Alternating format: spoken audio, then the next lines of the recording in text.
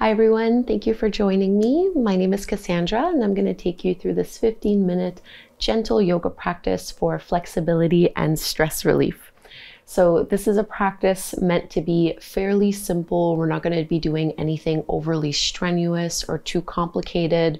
So, great for all levels. Beginners are absolutely welcome, and there are no props required for this practice as well. So, just make your way onto your mat and we're going to start in a cross-legged seated position. So just sitting any way that works for your hips and for your lower back. We're trying to find a nice lift along the spine to roll our shoulders down and away from the ears with your chin parallel to the ground. And you can just close your eyes here. Beginning by taking some deep breaths in and out through your nose just checking in to see how you're feeling in this moment. If there's anything you need to be aware of in your body, or if you find that your mind is a bit overactive.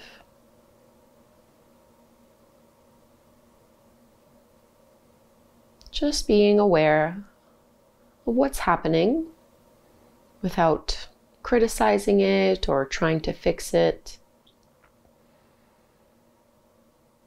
We're just taking in information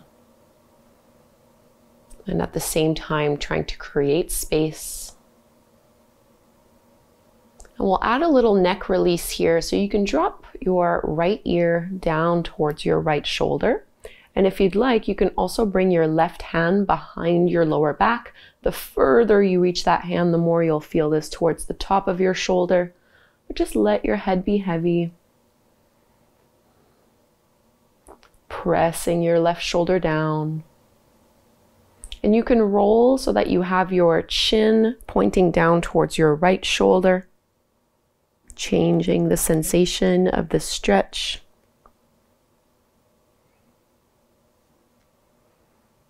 Take one more full belly breath. And lift your head back up and through to center. Release the arms. We'll just do same thing to the other side. So you can drop your left ear towards your left shoulder and maybe reach your right hand towards your lower back, almost as if you were trying to wrap and hold onto your left hip. Push your right shoulder down.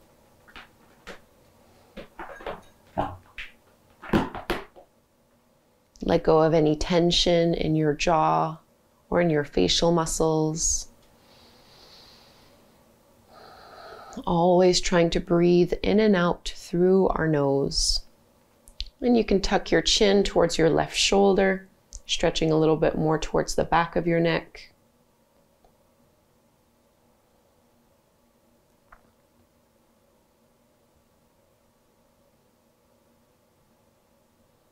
Let's lift our head back up and release the hands. You can roll your shoulders here, whatever feels good. And now staying seated, you're just gonna bring your legs out in front of you and widen your feet wider than your hips. Flex your feet so you're just on your heels here. And we're just gonna do a little windshield wiper motion with the knees, dropping them from side to side. And the next time you drop your knees over to the left, hold it here and see if you can emphasize pushing your right hip down. So just stretching into that outer right hip. You might feel it a little bit more towards the inner thigh and inner groin. Let's lift up and just go to the other side. This time, instead of lifting that left hip off the ground, think of pushing it back down. It won't touch the mat, which is fine, but we're trying to intend it there.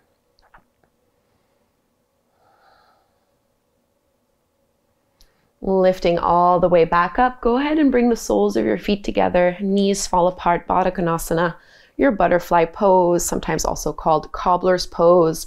You can hold onto your big toes with your two peace fingers here and think of lifting and pulling up through your chest. Squeeze your shoulder blades behind you, and at the same time, think of pushing and pressing your thighs down. So, a little bit of a tiny back bend here. Take a big breath in through your nose. And as you exhale, start to fold forward. And you can release the hold of your toes. Instead, walk your hands out in front of you and just fold all the way down. I'm letting my spine naturally round. I'm making this very easy, letting gravity do most of the work for me rather than pushing, pulling, and straining.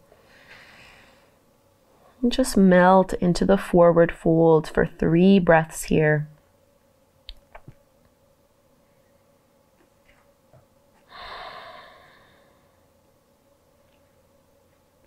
Whatever was on your mind prior to stepping onto your mat. See if you can let it go for now and really focus on being with yourself in this present moment.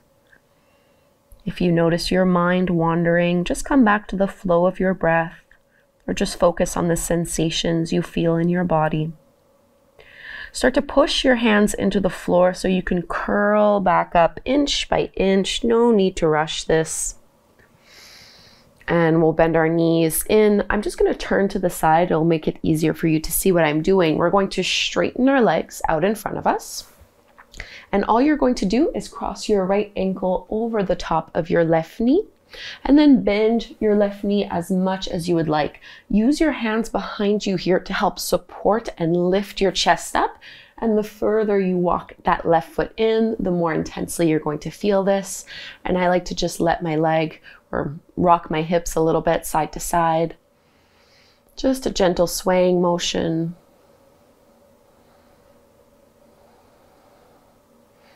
This is a seated variation of pigeon pose, targeting the outer hip into the glute.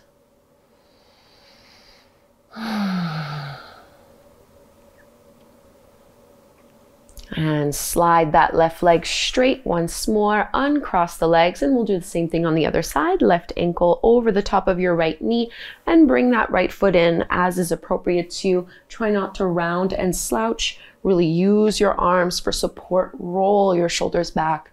Lift up through your chest, and you can just sway or rock a little. You don't have to. Staying still is wonderful as well.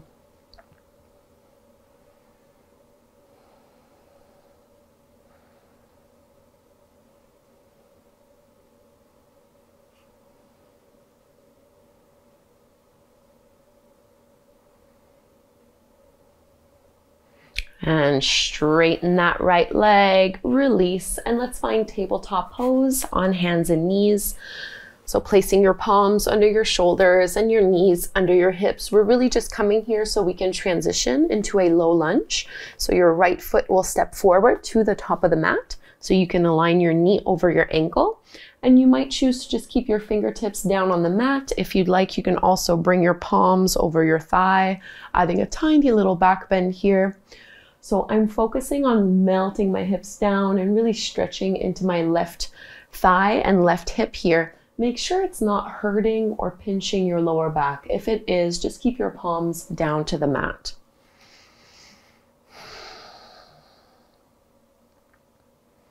So either option is really nice here.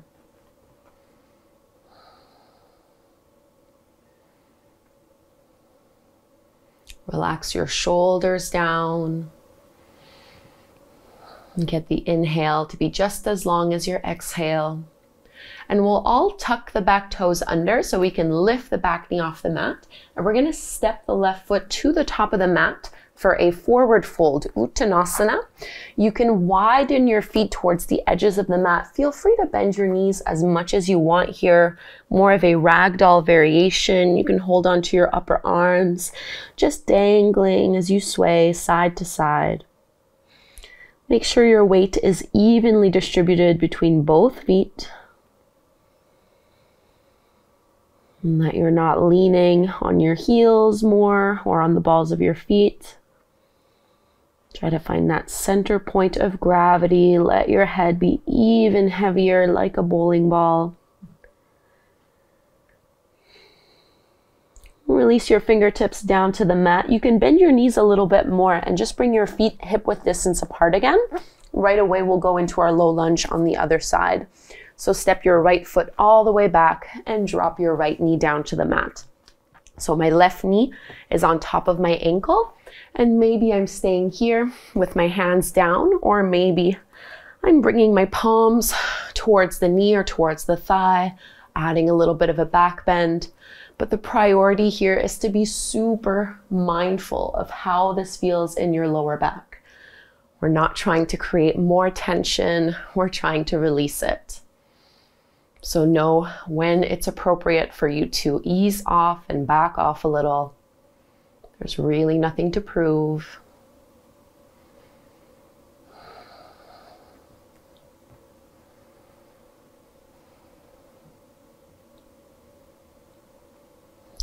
And we'll curl the back toes under, lift your back knee off the mat. Instead of stepping to the top of the mat, we're gonna step into downward dog. So your left foot will step to the back of the mat. Your hands are shoulder width distance apart. Your feet are about hip width distance apart or so. And you can absolutely bend your knees as you reach your chest towards your thighs. Any little movements that feel good here.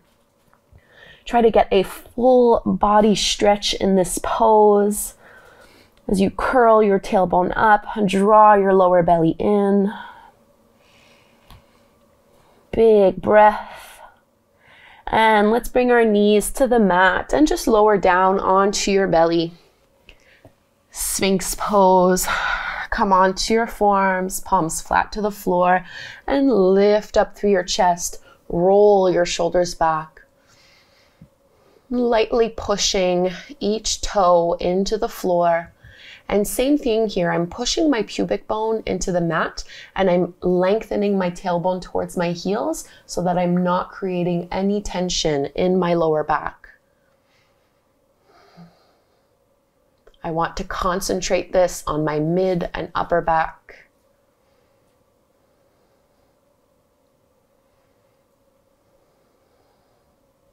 One more deep breath.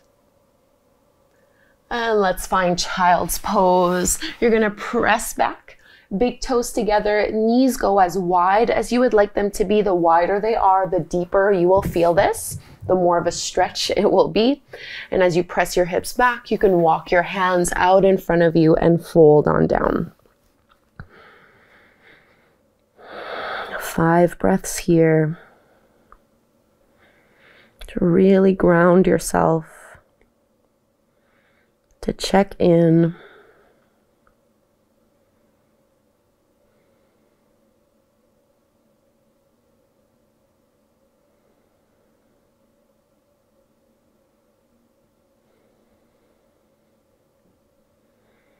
Let gravity pull you a little bit deeper into the stretch.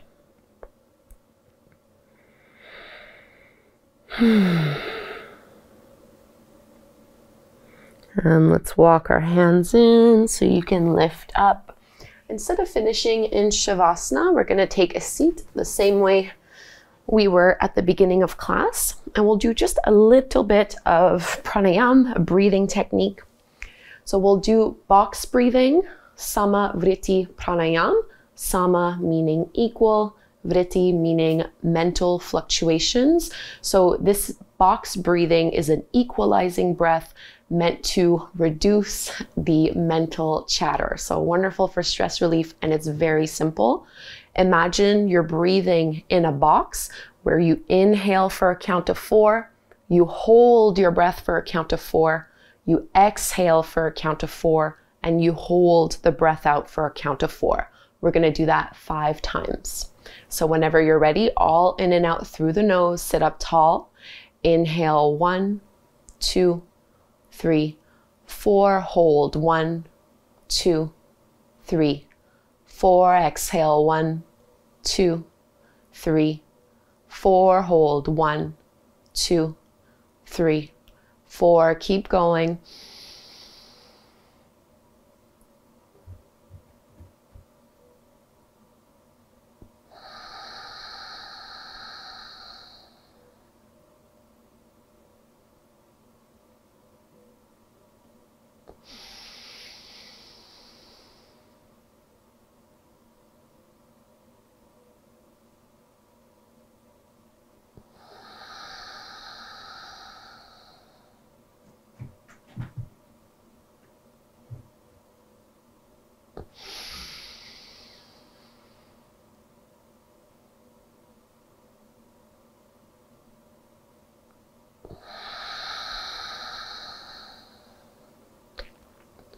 Last round.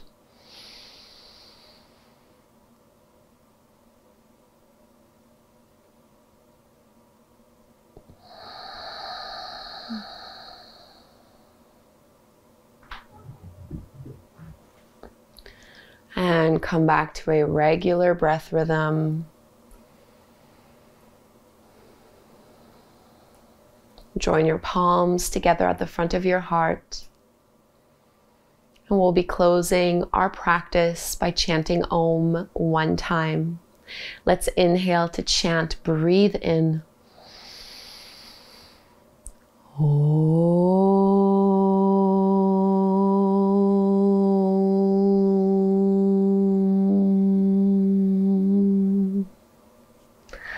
Thank you so very much for doing this short, gentle practice with me.